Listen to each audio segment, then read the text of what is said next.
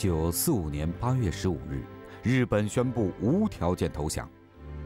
歌影双栖的大明星李香兰得到这个消息后，跳上一辆黄包车，漫无目的的在上海的街头兜着圈子。欢呼的人群，燃放的鞭炮，一面面中国国旗被升起，一面面日本国旗被踏在脚下，这一切都深深印入李香兰的眼底，她流泪了。不久，李香兰被关进虹口的收容所，面临汉奸罪的审判，理由是身为中国人却和日本人共同拍摄冒充中国的电影，协助日本的大陆政策，背叛了中国。不久，小报上登出了这样一条消息：文化汉奸李香兰将于十二月八日午后三时在上海国际赛马场枪决。李香兰只能说出了她隐瞒了十几年的身世秘密：“我是日本人。”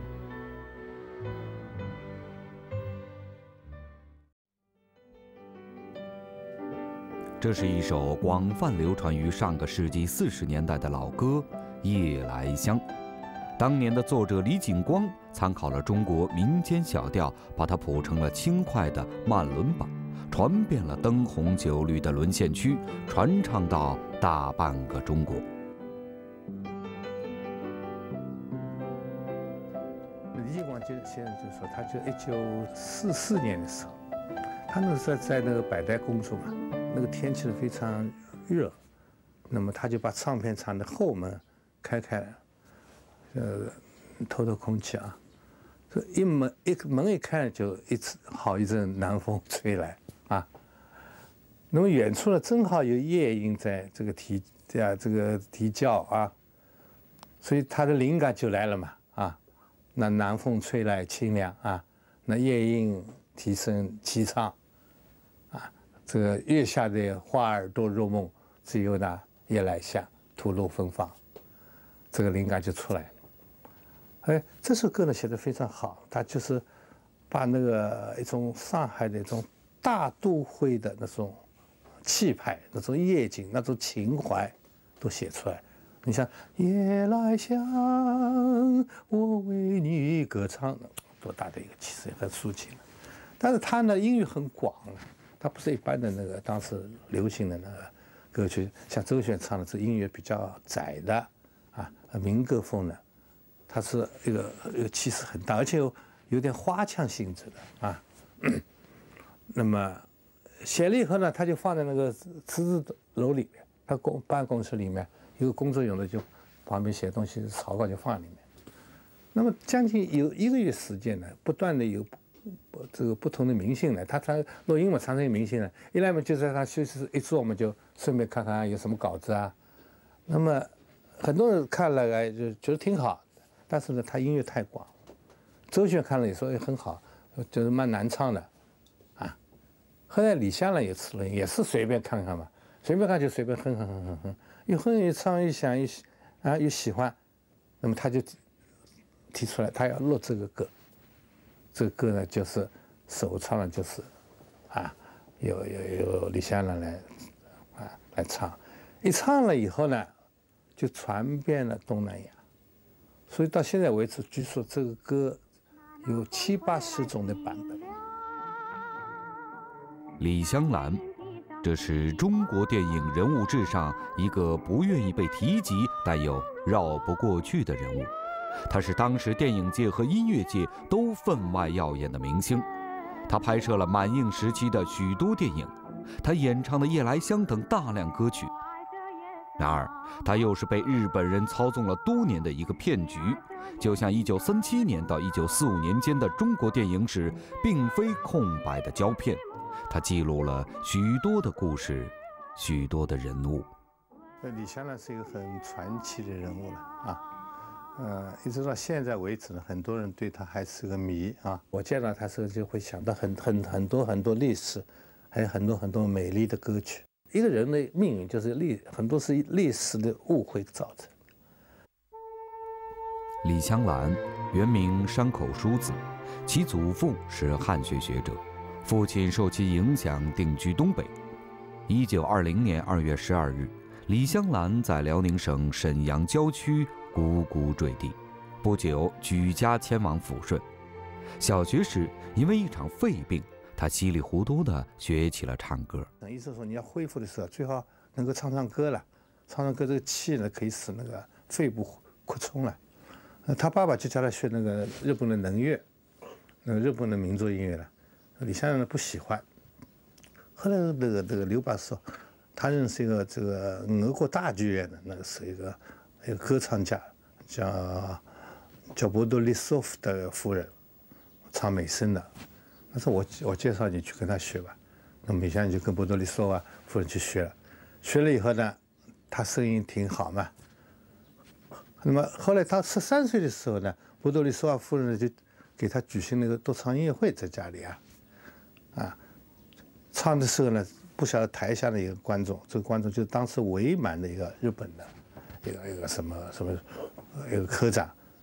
那么他真要找一个演员，这个演员呢又能讲中国话，又能讲日本话，又能唱歌，就找李湘。李湘说：“我我不愿意当演员，我是为了健康才唱歌的。”最终，小山口淑子被说服了，他以李香兰这个中国名字登上了跌宕起伏的人生舞台。一九三一年。发生了由于日本人挑衅引起的满洲事变。一年，一九三二年，日本人一手炮制的满洲国成立了。一九三三年，唱那个满洲国国策之歌《满洲国新曲》的歌手李香兰初次登台。这个李香兰的原型就是山口淑子，日本人。我当时还是个不懂事的少女。可是我也和满洲国同样是日本一手炮制的中国人。每当我想起这件事，就感到痛心。次年，只有十四岁的李香兰只身来到当时的北平求学，寄宿在干爹家。当时日本和中国的对立越来越激烈，学生中反日情绪日益高涨，李香兰心中充满了矛盾和痛苦。他不敢告诉任何人他的身世。一九三六年，他在北京的时候呢，就跟了同学参加一个默祷默祷会，就是悼念那个一二九呃运动死难的同胞，一块参加。这个参加时候呢，大家谈到这个这个抗战时候呢，大家都都非常激动。那么有的人说要马上要到要去找那个呃国民党的政府参加抗战，有的人到陕北啊。要去找那个陕北的红军去这个参加抗战。那么轮到李香兰呢，他就记得了，不知道讲什么，最后他就讲了一句：“啊，我要到站在北京的城墙上。”为什么这样讲呢？因为他既爱自己的祖国，又爱他的故国。他的祖国是日本，他的故国是中国。现在祖国和故国开战了，那我怎么办呢？我，我要站在北京城墙上，这不是想好了的，是一瞬间想到的。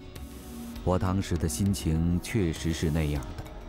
站在城墙上，从外面打来的是日本枪弹，从城墙里面打来的是中国的。不管被哪方打倒，我都注定要第一个死去。那也是最适合我这一身份的，决定自己的立场的。潜在心理。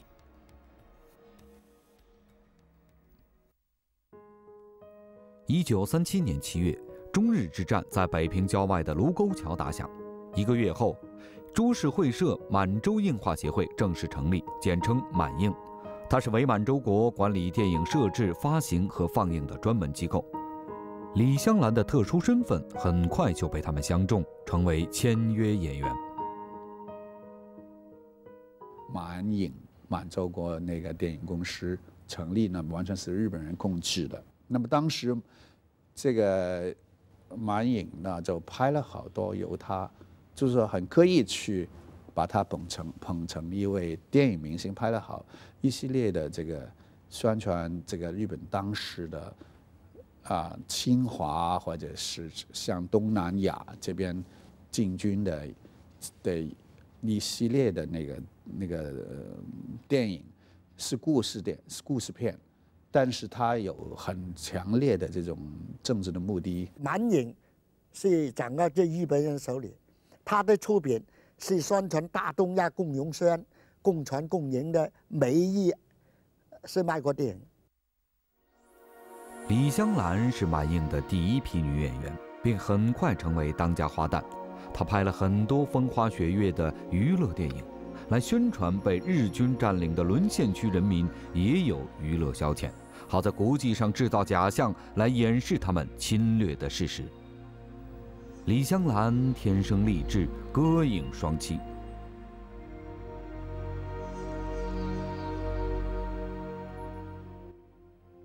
李香兰千篇一律就是扮演一种。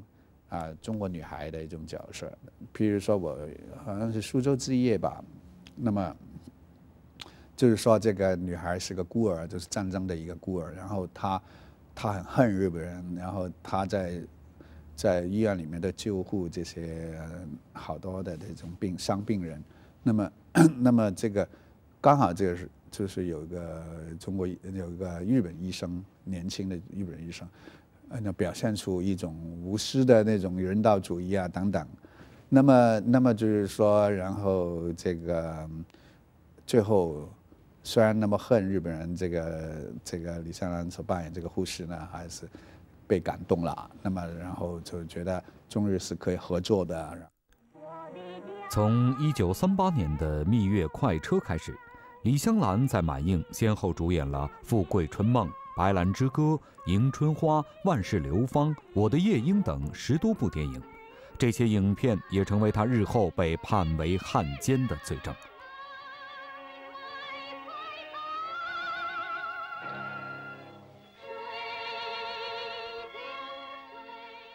一九四一年二月，李香兰回到日本举办了个人演唱会，一个日本朋友给她写了封信，提出告诫。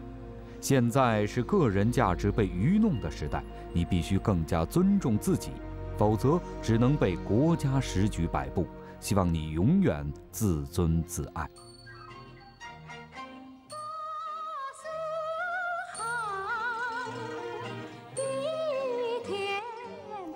对那些曾为军国主义服务、歧视中国人的电影，李香兰感到内疚。对于被隐瞒了的日本身份。他难以承受重压。一九四四年，李香兰从满映辞职，客居上海。上海似乎注定是李香兰命运的一个巅峰和转折。也就是在这一年，叶来香和李香兰在这栋小红楼相遇了。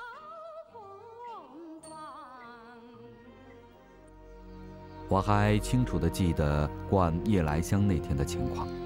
李景光拿起了指挥棒。那轻快的前奏立刻倾泻出来。就在这时，录音室玻璃的那面监听室站着一位可爱的女郎，目不转睛地看着这边。她就是女明星周璇，在主演了《马路天使》以后，成了最佳演员。我本来就是周璇的崇拜者，喜欢她的歌，所以在前奏终了，刚要唱的时候，看见了我所羡慕的明星，不由得叫出了声：“哎呀，周璇！”当然，由于闯入了这意想不到的感叹词，录音失败。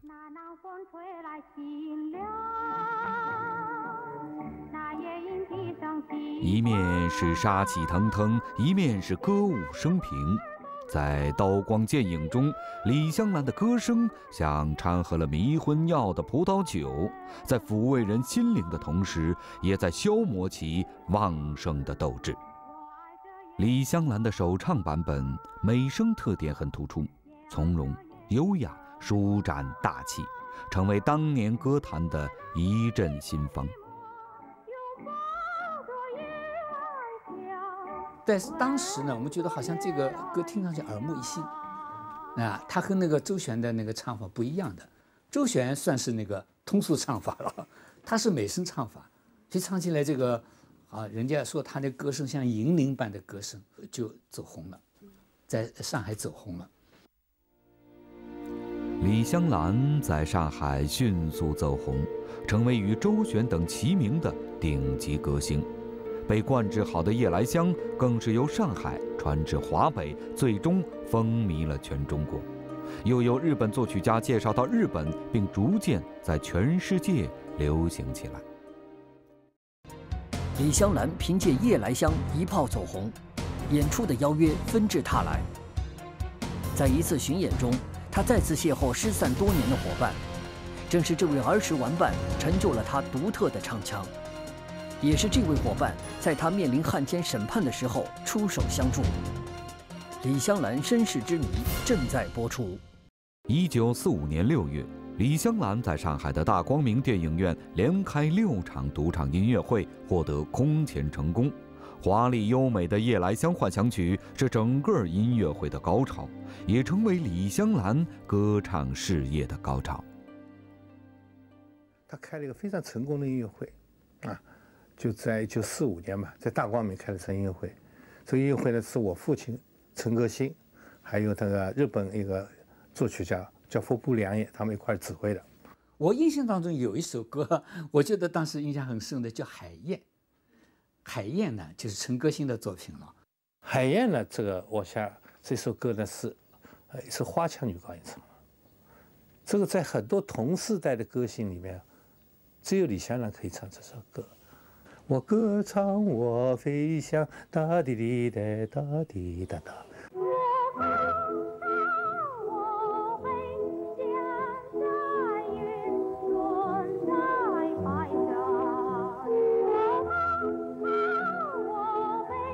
演唱会的成功固然可喜，更让李香兰喜出望外的是，她找到了失散多年的好朋友。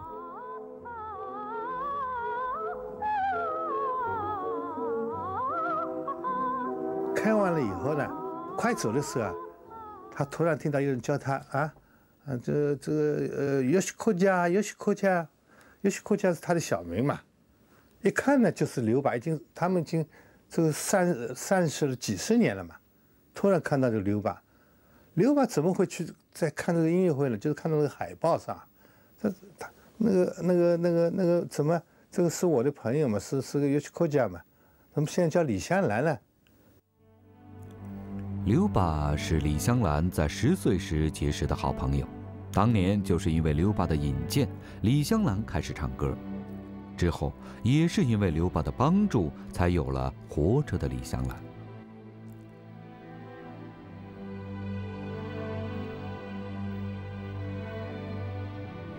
一九四五年八月十五日，日本宣布无条件投降。当年和李香兰一起拍摄《万事流芳》的一些演员被逮捕，李香兰想到了自己特殊的身世，惴惴不安。在小报上和女汉奸川岛芳子、东京玫瑰的名字排在一起的李香兰的名字是第一个。身为中国人，却和日本人共同拍摄冒渎中国的电影，协助日本的大陆政策，背叛了中国，这就是我的罪名。当时的在上海的那个军事法庭呢，就是判他是汉奸罪，是这样子。那么后来呢，就说他说我是日本人，呃，谈不上是汉奸。那么后来那个法庭就说你，你说你日本人要拿出证据来。正好这个时候，刘爸来看他，他说：“你怎么会是汉奸呢？你是日本人吗？”刘爸知道吗？但是现在要证明你是日本人，啊，那怎么办呢？找不找不出办法来。后来李湘突然想起，他们当时进来时候，日本人一定要有几张那个出生证啊。哎那么他有这个出生证，就在他北京的他父亲家里。他现在唯一救我的办法就是我要拿到这张出生证。啊，刘爸说我知道了。然后过了不久呢，他们那个看管的人呢，就给了他一个玩具，是刘爸带给他。李先生很聪明嘛，这个玩具他从小看的那个在家里，他晓得里面一定是刘爸放的东西嘛，把先拆开，果然是那个出生证。是刘爸到北京特委去拿来的，这样出生证就救了他。李香兰在法庭上出示了这张证明，法官当庭宣布她无罪释放。这个令人惊讶的事实使法庭上的人们愤怒了。面对大家的怒吼，他流泪唱起了歌，用歌声表达对养育自己的中国的一片深情。同时对自己前半生的罪行做了深深的忏悔。一九四六年二月二十九日傍晚，李香兰含泪挥别上海，乘船返归日本。港口的上空布满了通红的晚霞，在那一条条的浓密的晚霞陪衬下，一幢幢高楼大厦黑乎乎地矗立在对岸。就在这时，意外的收音机响起了上海电台播送的音乐。由于这个突然发生的情况，我的手紧紧地握着甲板的扶手，全身颤抖起来。那旋律正是我唱的《夜来香》。这该是命运之神为祝贺我，特意给我演奏了这首惜别的歌吧。又变回山口淑子的我，低声地说：“别了，李香兰。”别了，我的中国。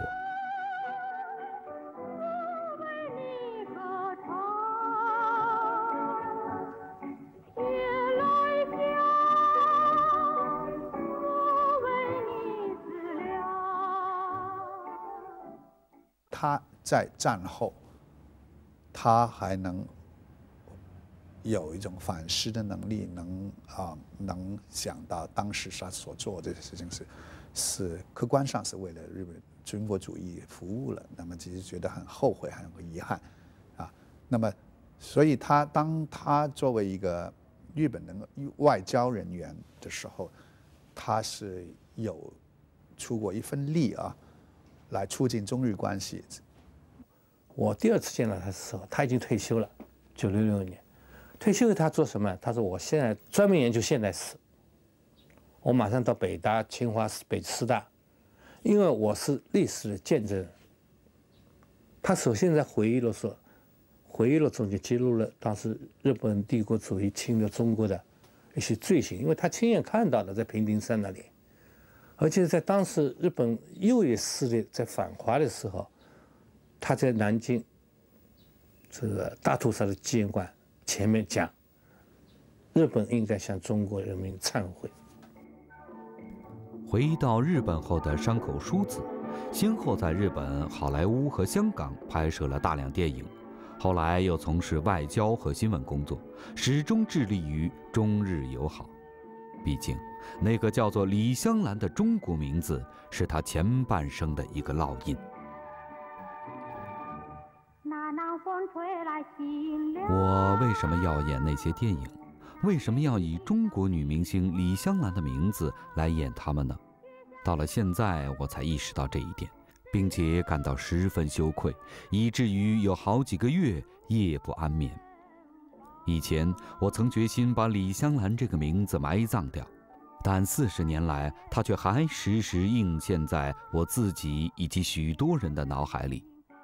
一个被时代、被一种虚妄的政策所愚弄的人，如果噩梦醒来后能够有机会对当时的作为反思或者加以说明解释，也是幸福的。